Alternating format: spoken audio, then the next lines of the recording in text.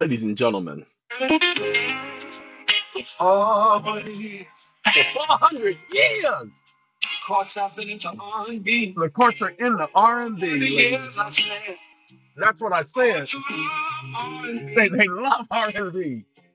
You They know know the lyrics, They know the lyrics. they can follow the beat. They can follow that beat. for the year, the courts of For R&B. 400 years, they've loved R&B. For they have all been beaten and fought Uh-oh. Oh, Lord have mercy. Uh-oh. I'm sorry. I didn't know they loved it that much. Hey, ladies and gentlemen, I want to talk to my people um, because I have some information for my people because I literally need to be honest with all of you. I do videos for my people.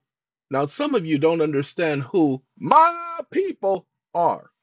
My people are not colored folk. My people are not white folks. My people are not brown folks. My people are not blue folks. My people are not green folks. My people are not yellow folks. My people are not those individuals. My people are the ones who have ridden with me, rode with me, hung with me, stayed with me through everything. When they put me on vacation, my people were still there pulling for me, supporting me, sending me letters. Man, especially those of you with the Puerto Rico, ordeal, ooh, over 400, actually 700 plus letters being returned to sender, never letting me receive those. Just knowing that they were returning them to sender was beneficial. So those are my people. You see, my people support me. They don't support me financially. I don't want their financial support. No, no, no, no, no, no, no, no, no. No, no, no, no, no. Say it ain't so. No, my people hang with me. They trust the information. They verify the information. You know, we always have these people out there talking about fact checking. Let's do some fact checking. Nobody's ever checked me. No, no, no. They fact checked me, but nobody's ever come back and said I lied or misrepresented the facts. Let's talk about something, shall we?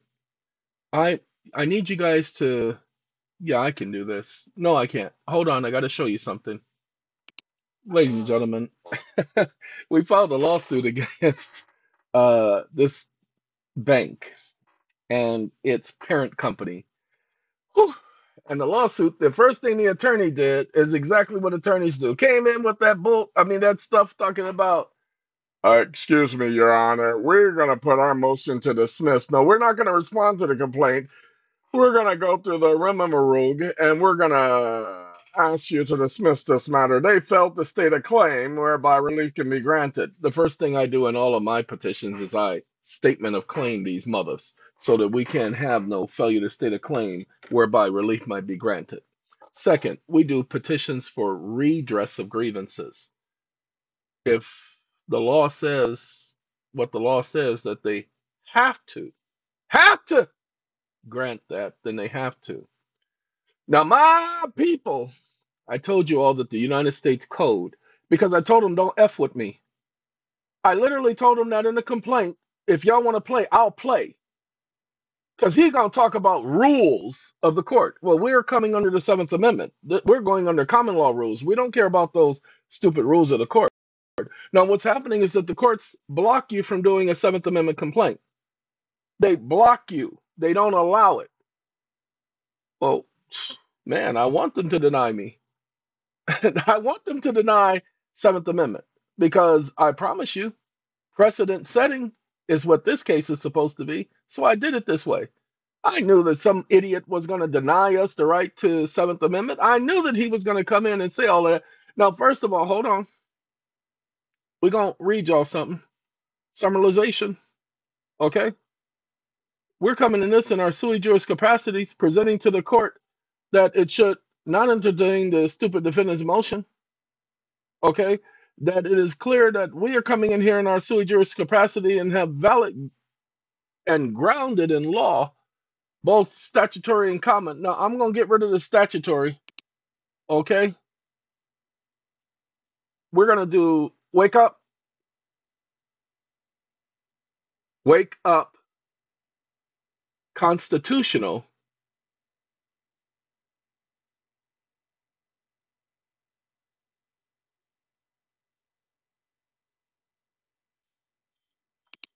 as the right to petition for redress is absolute.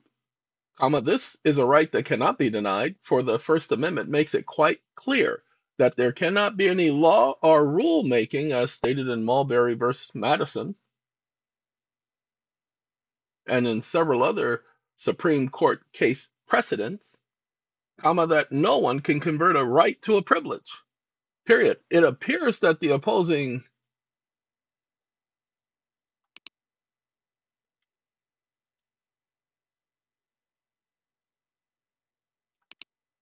alleged attorney, for we have no proof that he represents the so called defendants, and until such proof is placed on the record, comma, his communication cannot be considered. Period. But stated again, we have no proof as to any of the allegations or testimony by the alleged attorney who cannot, in one point, testify, and then in another point, represent someone in any matter, as stipulated by the Supreme Court in Pagalero.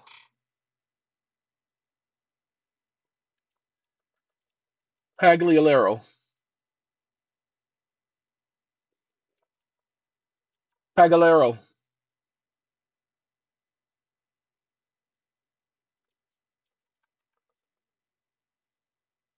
Stop listening. Give me one second so I can state this into this stupid thing. We find it interesting that he uses a template found on a program used by most attorneys, comma, bringing up the same case citations, otherwise known as judicial common law, comma, but that common law is contrary to the rules of common law and the right to a common law proceeding under the Seventh Amendment. Period. Because it is vehemently is vehemently opposed each the other, comma, we're going to stick with our right to the common law as intended by the Seventh Amendment as members of the posterity of the people who ordained the Constitution in its first instance. Exclamation mark. Stop listening. Ladies and gentlemen, the reason why I'm doing this particular video is to show you the following. And as you see, I keep it, as I told him I was bringing them back to one. Thank you, Brian McKnight. We're going to bring them back to one. We're going to stick to the subject matter. Subject matter is Seventh Amendment common law. We're going to stick to the Seventh Amendment. They're going to try to distract because the attorney and the court work together. Remember, he's an officer of the court. So he comes in and he brings up all of this gobbledygook because he wants us to talk about that junk because he wants to bring up presumption. So we're already challenging presumption. But hold on, hold on, hold on. This is how you hit them in the head. And you got to hit them until you get to the white meat. So we have 65 different instances of the following. We've already placed before this court our challenge to the United States Code. With the plethora of errors, either purposeful or otherwise, it is not prima facie evidence of what the law is. The law must be put through what is known as the legislative process, i.e., enacted by Congress, and only certain titles of the code and not the substance of the subsections have ever been enacted in the positive law. Go ahead. I dare anybody to find a single section of the United States Code Pay attention, not the title, the code, the actual subsections of the title that have been enacted in the positive law. Hold on, hold on, hold on. Let's let's fact check. You you sure you want to do that? Hold on. Oh, by the way, ladies and gentlemen, our Eeon.tv channel that will be available at the beginning of 2025. Okay. I do like the way things have developed. We've changed our color scheme. So we we we, we got some stuff coming. Now we're working on a video section. Okay. We are taking care of that. But again, and then we have our chat bots that we're going to be upgrading. And I've already updated Covington Law. So we we got some we we got some stuff to talk about. Y'all know what I'm saying? That that's what I'm talking about. So we got some stuff to talk about, okay? But we will be updating it um and getting things done. So this is just to let you know so that you get it, okay? And Covington Law, those of you who have ChatGPT, you can utilize Covington Law. Wait, don't tell me. Did he do that? Oh. He added it. I didn't tell him to do that. He did it, and that's what I needed. I needed speech because I'm so sick and tired of using chats that it doesn't speak back to you. So he did it. I didn't tell him to do it. So thank you. Okay. This because I'm having somebody help me develop this, and he doesn't speak English. Okay. Supreme Court of the United States, writ of certiorari. At a actual writ of certiorari. Okay. So, oh, we we we going we man, I'm telling you, we we got this coming. It's coming, and it's here. The battle ram. Anyway, ladies and gentlemen, then you also have PDF editing software, converting, merging, compressing, and then we have our tiny URLs. Tiny URLs is going to be free to all of y'all. You want to create a URL? If you have to paste and post a URL, it's going to be free, free, free, free, free, free, free, free. And then the song thing, we're gonna work that out for you. I uh oh, the song I was just playing. Hold on. Let's see. For 400 years, the courts have love beating the faces out of a brother, sister, cousin, mother. For 400 years, the courts have protected each other. Police, That was done here. Okay, let me show you something. I I tried one, two, three, four, five. That was the sixth one. Now hold on now. Let me make sure y'all understand.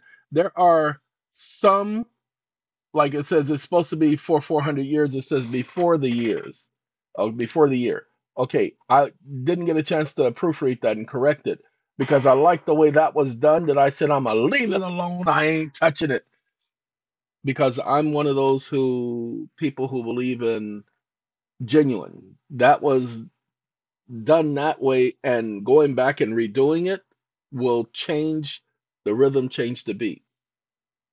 Okay? I liked that one. So that's what the eon channel produces.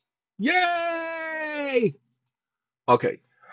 But we said we're going to get to proving something to you. Wake up.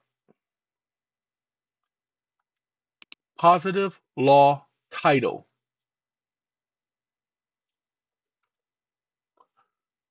stop listening i want you all to pay attention because some people don't get this they talk about positive law there is no such thing as positive law Go ahead. I dare you to find something in law called positive law. It is called positive law title. It is a legal term. It's not a word, it's a term. Positive law title. That's how they've been getting over on everybody. They only made the title positive law. Why? Because they knew the idiots in the Law Revision Counsel were changing things, were adding things. Hold on, pay attention. A positive law title of the code, pay attention, only the title, not the code itself, of the code is a title that has been enacted as a statute. Just the title, people. Title 18, Title 26, Title 11, Title this, Title that. Only the title has been enacted in the positive law. The enact uh, to enact the title, a positive law codification bill is introduced in Congress. The bill repeals existing laws, pay attention, on a certain subject and restates those laws in a new form, a positive law title of the code. Sorry, the bill cannot repeal existing so called laws. And pay attention, because the bill is not the code. Huh? The code is not written by Congress.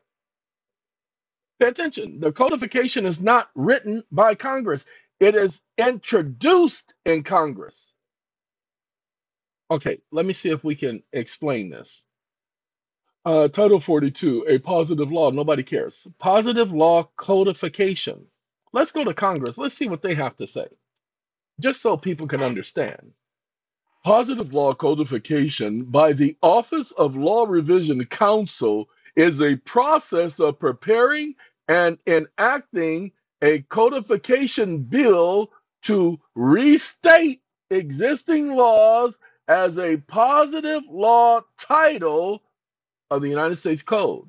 Restatement conforms to the policies, intent, and purpose of Congress in the original enactment.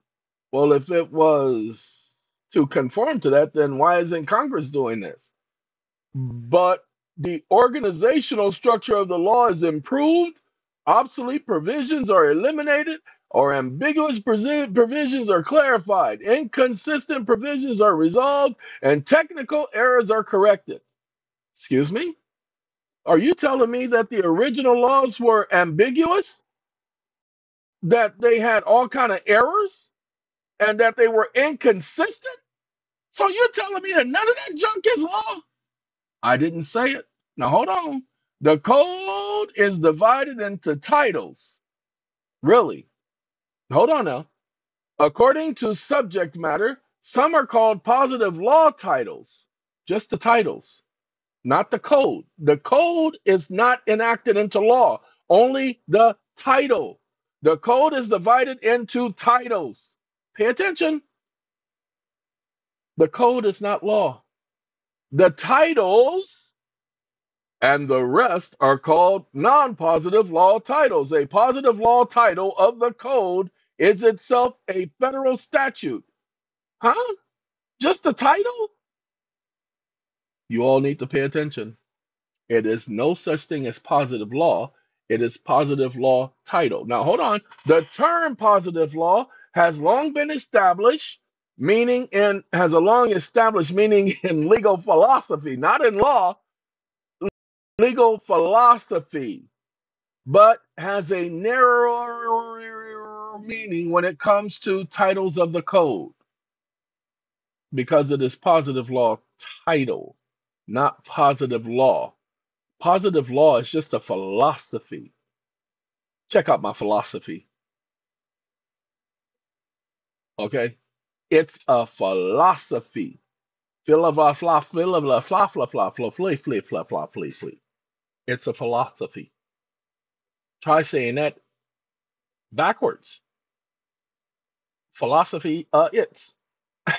anyway, ladies and gentlemen, so that you know, appearing in a positive law title has Congress's authoritative imprimatur with respect to the wording of the statute statutory text appearing in a positive law title. See, statutory text appearing in a positive law title.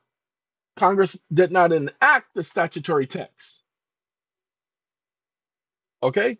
Statutory text appearing in a positive law title is the text of the statute and is presumably, it's a presumption, identical to the statutory text appearing in the statutes at large.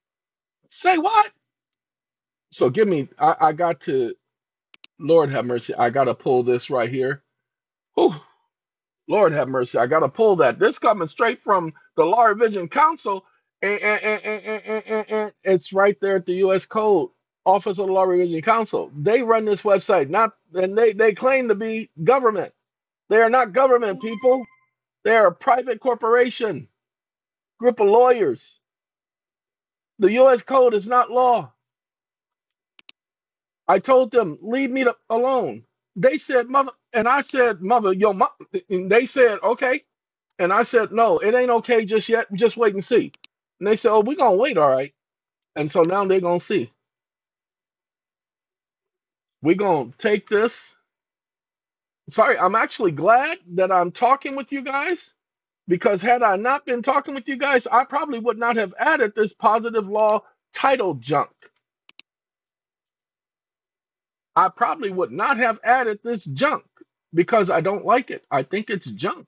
I think it's bull. I mean, uh, you know what I'm saying? Yeah, y'all, y'all know what I'm saying. Anyway, you know what I'm saying? Give me one second to paste that, do that, and then we gonna shrink this because it's shrink wrap. And then we're gonna do that right there so that they'll have their link. And then we pay attention. want y'all to pay attention 28 USC. Now, do y'all know what 28 USC is? It's the Judiciary Act. They they claim they amended the Judiciary Act, Article 3. 28 USC is supposed to be Article 3. I know, I know, I know. You didn't know. Well, read it.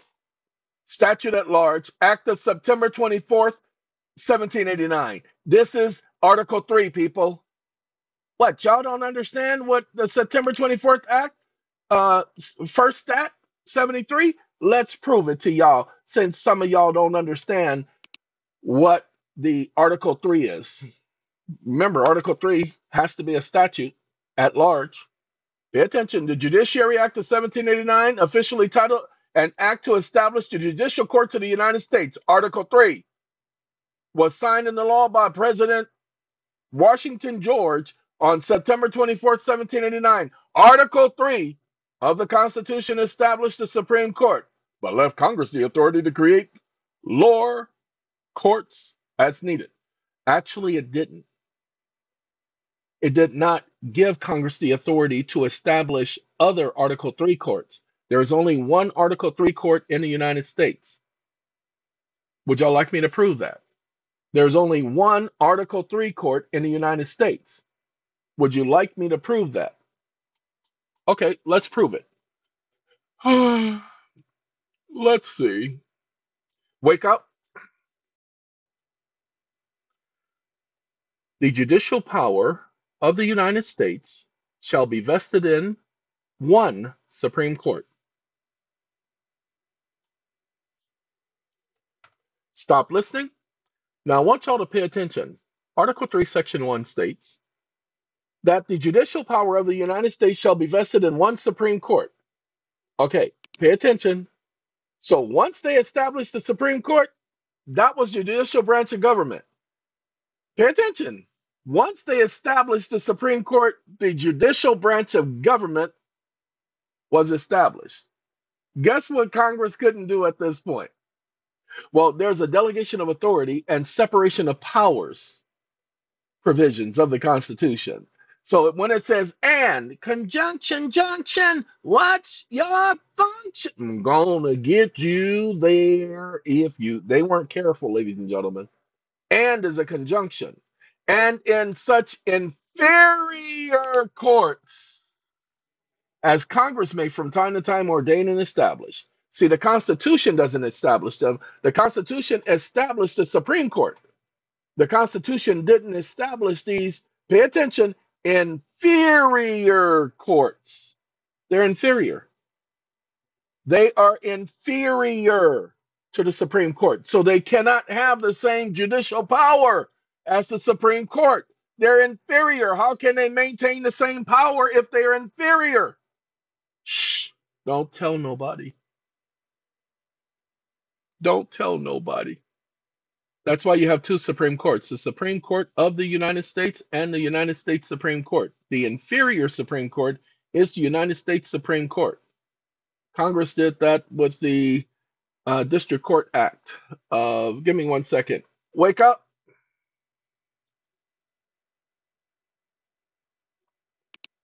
Wake up. The District Court Act.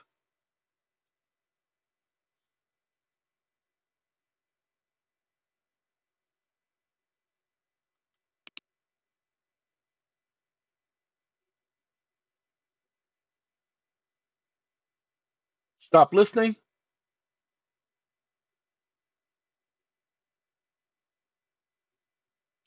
Ladies and gentlemen, District Courts Act. This is not the act that I'm talking about. In 1969 is too late. I'm doing 1929, 1939. Let's do this. Let's see if we can pull it up that way. Because I found it several times, but that was in eh, research on paper. 1 9, uh, yeah, 1929. Give me one second. Uh, 1929 federal court, district court case law. I don't want case law, you morons. I want congressional act. Give me one second. Let me see if I can find it. Okay, ladies and gentlemen, here you go so that you will know. I went to Perplexity. I didn't go to ChatGPT. What was the significance in the name change from the District Court of the United States to the United States District Court? Now, most people don't even know that it used to be called the District Court of the United States, and it was changed to the United States District Court. I mean, who does that type of research? Who looks into stuff like that? Well, that's what happened, people. The name change of the District Court of the United States, oh, I've known this since what? When did I first come across this? 1998? Okay. We're going on 30 years of having stumbled on this, wasn't looking for it precisely. But when I saw it, it stuck with me. The name change of the District Court of the United States to this was the so-called constitutional court that that inferior court that Congress created, but then Congress created another inferior court known as the United States District Court. Why? Because this was the corporation. They received an EIN number. Go look at when Congress got its EIN number. Now, hold on. To make sure y'all know how to find it. Wake up. Agencies, EIN numbers, comma, withholdings, addresses. Stop listening.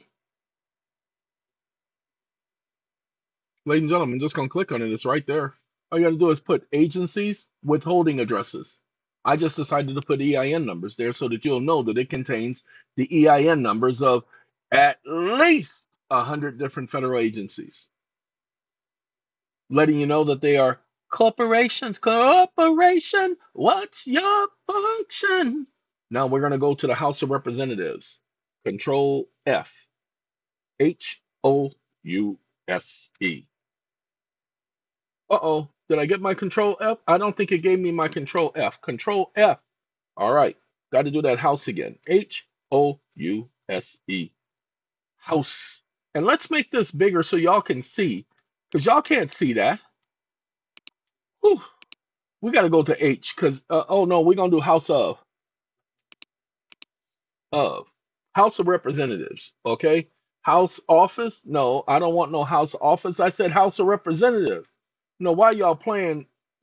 There you go. House of Representatives. That's their EIN number. So go do your research on when they got that EIN number.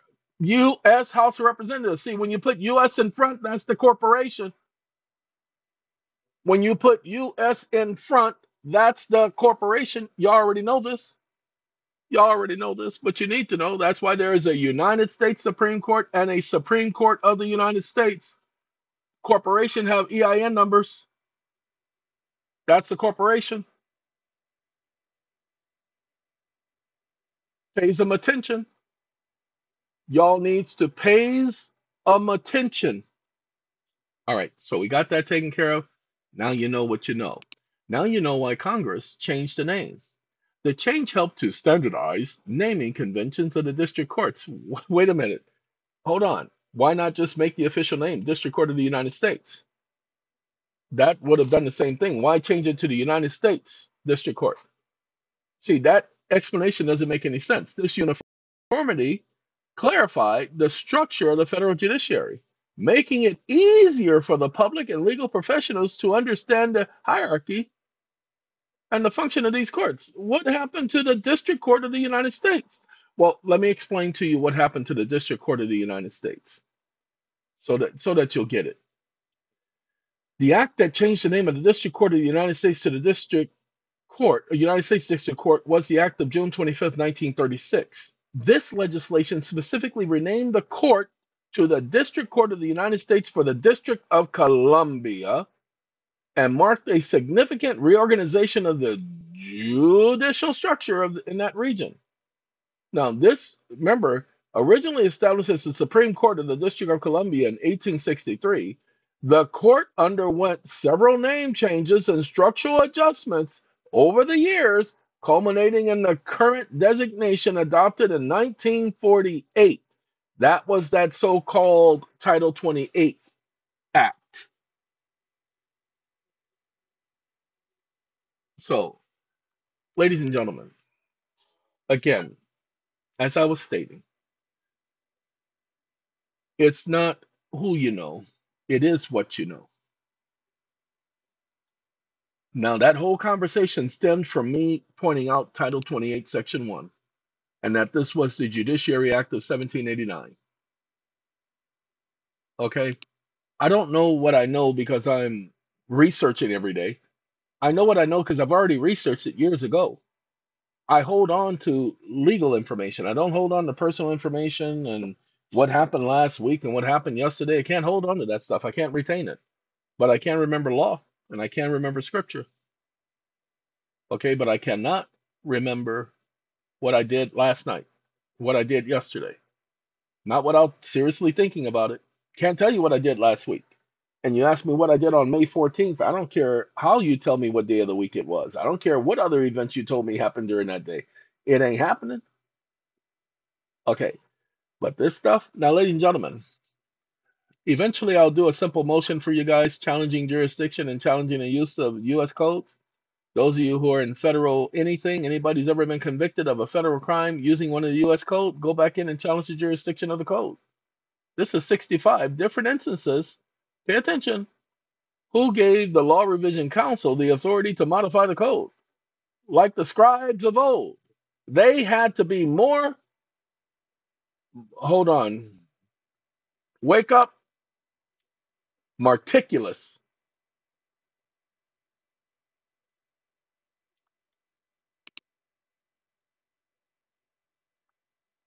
Marticulous. Stop. Stop listening. Stop listening. Ladies and gentlemen, they had to be more meticulous, the scribes of old, to make sure that there was not one iota of a marking and or indicator was absent. And or missing and or omitted these individuals these groups of attorneys non-legislative non-elected officials codifying something and calling it law impossible a violation of the first amendment premise whereby it is perceived that only congress is authorized to write law make it an issue and we make it an issue so they want to play with me. I want to play back. And we're asking for affirmative relief, y'all. All I apologize. It's supposed to be, oh, I apologize. Um, uh, now I'm gonna have to redo this one. It's supposed to be, oh, I apologize. Is isn't Title 28. So wait a minute. Wake up. Wake up. Oh,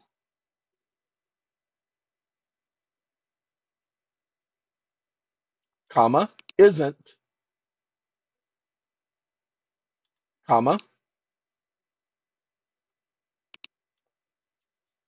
Stop listening. Oh, I apologize. Isn't Title 28 the amendment to the Judiciary Act of 1789? Go figure. I hope that isn't true. Wait a minute. It has to be true. Why? Because Congress is only enacted it's supposed to has only enacted the title of the code and the reason why they haven't enacted the remaining titles of the code is because of the inaccuracies is why so we got to put our has so i haven't proofread it yet i'm i just did this last night uh, just before i was getting ready to shut everything down and go to sleep okay so this is me hold on not helping all of you this is me helping one person and I want to take this time to let you know what this person did yesterday. He had another case. I had him go into small claims court. He doesn't know anything about the law. He doesn't know anything about court. So I had him go into small claims court and sue the bond of what you call it, uh, Mid First Bank, Midwest Bank, and uh, Mid First Bank and Midland Bank. Sorry, both the same company, just subsidiary of one another. And we the case got dismissed. The case got dismissed. The court said that he was bringing a case in the wrong court because he was bringing a case for stopping the foreclosure. And he told him, I'm not trying to stop a foreclosure, you idiot. I am trying to sue the bond of the insurance company because uh, these uh, banks because they did not follow the law, and I'm filing a claim against their bond. Well, he had a court date. They they got him to reopen the case by using maxims of law only. That's the case I told you about. The court scheduled it for a hearing. He got his hearing yesterday, but I told him more than just a, over a week and a half ago, you need to communicate with me. If you want my help, you need to communicate. Ladies and gentlemen, I told everybody I don't do the last minute thing. He had a court date Friday. He called me Thursday after four to talk about his case. And I told him when he called, I said, No, you should have been calling me two, three days ago. Well, I know you're busy on Wednesday. That's right. You know I'm busy on Wednesday, which means you should have called me on Tuesday. You know how I said I don't like surprises, I don't do surprises, and I don't do last minute. I told you a month ago that you needed to get with me before the hearing. And I specifically told him two to three days before the hearing, not one day. So when he called me, I told him that, and we discontinued that conversation. Well, I guess I'm just going to have to handle it with the information, blah, blah, blah. I don't care. Literally, I don't care. So then the morning of, everybody knew I had a consult at 10. I told them, hey, I got a consult at 10 o'clock. They all heard me say it to somebody because the phone rang during one of our meetings. And I told the person there, hey, you need to call me back before the consult. It starts at 10. So everybody knew I had a consult yesterday at 10. He calls me at 9:56. So no, I ignored his call.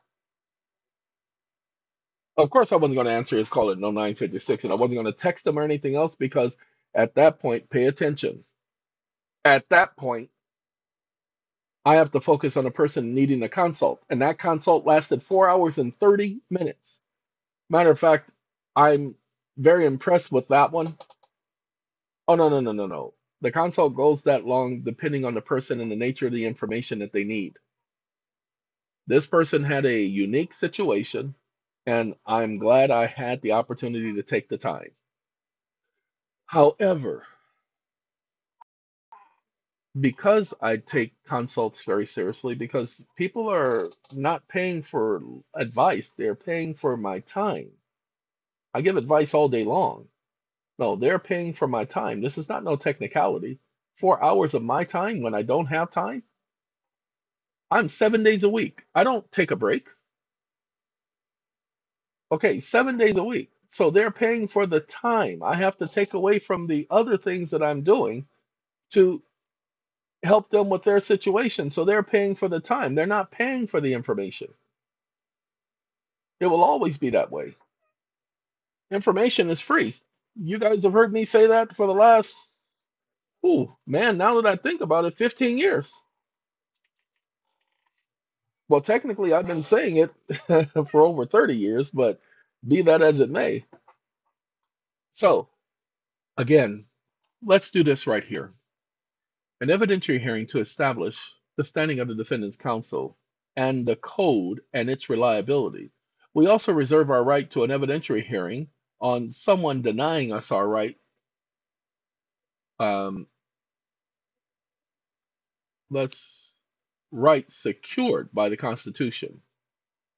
For the United States of America, i.e., the right to petition for redress of grievance and the right to due process and the right to be secure in these rights as they are property or possessions, the right to have the age of the majority, the right to property, the right to life, the right to pursuit of happiness, a common law trial,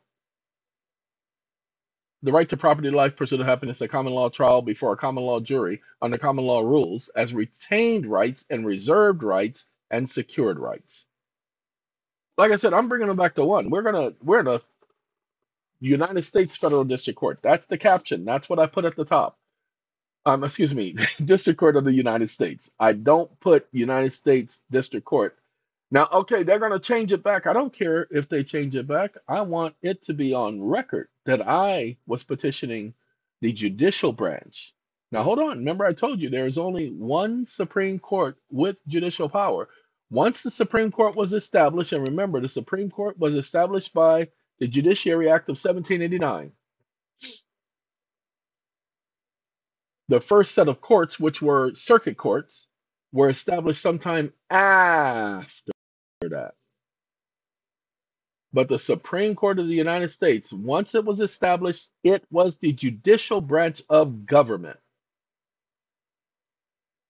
Congress had no authority over that branch of government, nor could Congress create inferior courts now, courts, the courts would have to have a hierarchy.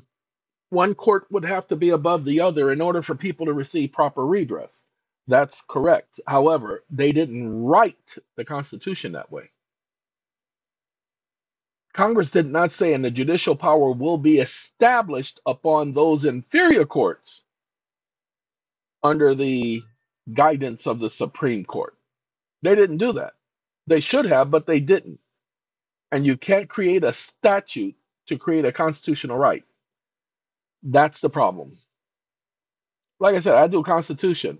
Someone sent me, young lady sent me a copy of Gagurgich, Gagor, whatever his name is.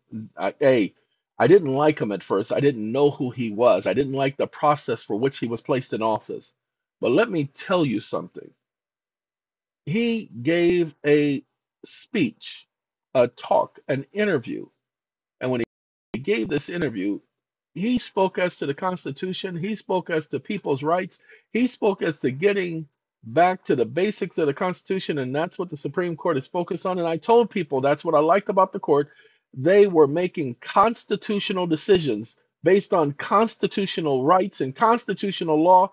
I like the Supreme Court. I like the Roberts Court. I didn't think I was going to like Roberts and his court, but I promise you, out of all the people, it doesn't even matter if they rule against me and choose not to hear anything I say. The things that this court has done to correct a lot of the stupidity is on the money. Okay? They're in line with the Constitution. No, no, no, no, no. Doesn't mean I agree with everything they're doing. Please. But the fact that they're sticking to the Constitution, ladies and gentlemen, we have a foundation. As long as they're following that, then we can proceed to the court we have a basis for which to support our so called arguments. Without that, we don't have that. Okay, so many of you are afraid of the courts. Many of you are afraid of the back and forth. Why? You don't have to be afraid.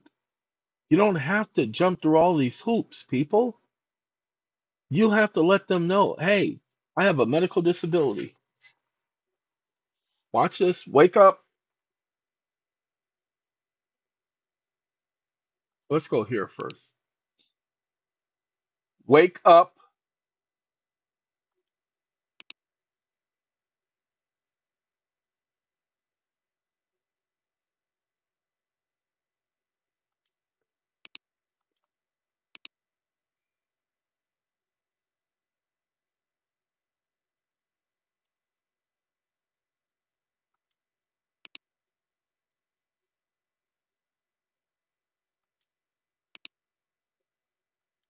Did you know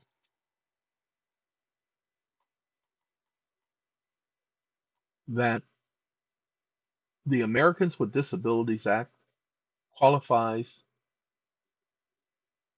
language as a communication disability?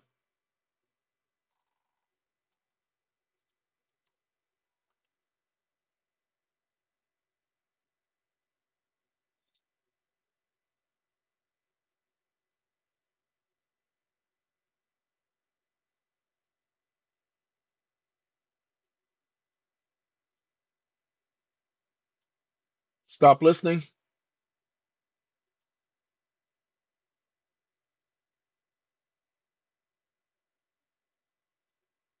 Ladies and gentlemen, this is you.com, not me, but you.com, okay? You.com says, yeah, it, it's a disability. It does recognize various forms of disabilities, including communication disabilities. These disabilities can affect an individual's and how individuals interact and communicate with others, particularly in public and private settings. Communication disability encompasses a range of impairments that affect individuals' ability to convey and receive information. This includes individuals who are deaf, hard of hearing, or have speech disabilities. For instance, people who are blind, okay, but we're talking about language. So I, I'm gonna do ChatGPT because I'm gonna be doing codes with you. That's why I got you. Okay. I got you, babe. Okay, we're gonna go to ChatGPT. Wake up. Did you know that under the under the Americans with Disabilities Act, comma, that language is considered a communication disability?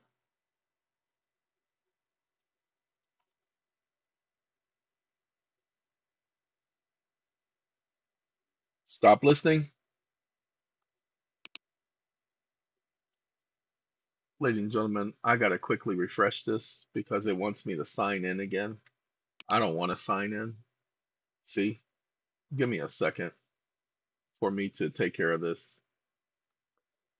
I apologize for that. I just decided to open up another GPT that's already connected. I'm already signed in. The American Disabilities Act communication refer to impairments that affect an individual's ability to communicate, to understand, speak, or write language. For example, someone with aphasia, such as myself. I have aphasia, a condition that affects language comprehension and expression, or someone with a hearing impairment can impact their ability to process spoken language could be protected under the ADA. The ADA requires reasonable accommodations to be provided individuals with communication disabilities to ensure. Now, watch this. I don't want no more nuances. Wake up. Wake up. I don't want any more nuances or clarifications. Just answer my questions directly. Exclamation mark. Language is communication. So don't correct me again. Exclamation mark. The fact that the courts use legal terminology and have a legal dictionary that is just as thick as the English dictionary, but yet the legal terminology in the legal dictionary is not the same as the words and meanings and synonyms of the English dictionary, comma, means that legal terminology is a different language. Period. And individuals have a right to understand and communicate effectively with the courts. I need you to put together a petition challenging the use of legal terminology and not providing an interpreter and making sure that the courts suspend the rules so that only English is spoken. Exclamation mark. You're going to provide seven Supreme Court precedents omitting case citations, as well as 17 maxims of law supporting the conclusions contained herein. You will not utilize a single United States code, but you will use statute at large in its stead. Is that understood? Question mark.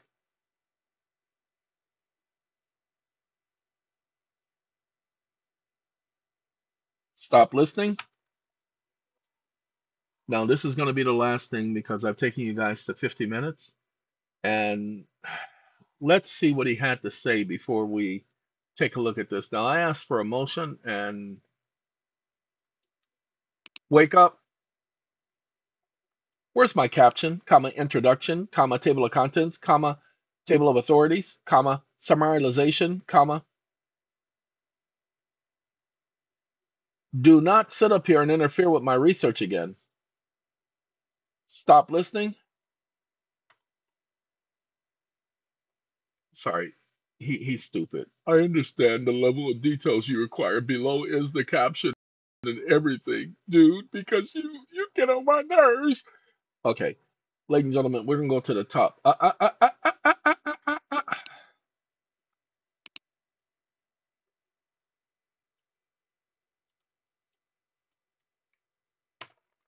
Sorry, it didn't complete. Notice what it did right here. See, statutes at large, and then pre- precedent, uh, pre- pre- precedent. It, it, it doesn't provide it. Oh no, it's going. We gonna make it redo. But it understands exactly why I did that. You see how I had to just tell it complete. so it it understood exactly what I was saying. And these are the maxims at law. See, no one can suffer. Where's that ambiguity? I just missed it. Oh, there you go. No one can suffer from ambiguity in the law. Legal terminology should not create uncertainty or confusion. All right. And thus, it tells me my presentment. You guys can do the same thing. And then you can add the fact that the code is not law. The code is written in legalese, and you are not required to understand legalese. Okay. Summary of argument continued. Okay, no, no, no, no, no, no, no, no, no, no, no, no, no, no, no, no, no, no, no. See what he just did. Okay, he continued from there. I don't want him to continue from there. Oh, I can't even refresh this. So what I have to do is I have to come up here. And y'all gonna have to do the same thing when you're working with Chat GPT. You got to come up here and ask the question again.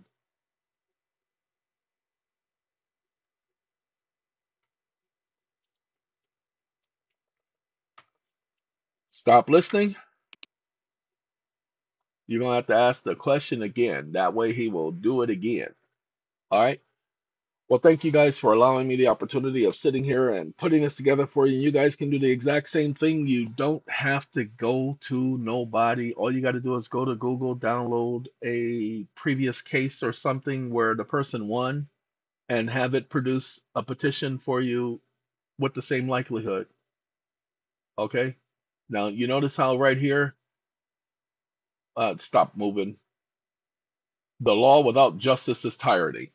See, it put the maxims there, and then it gives us our legal terminology, our conclusion, our prayer for relief, and blah blah blah. And of course, you have to, you have, you can't just let ChatGPT write everything for you.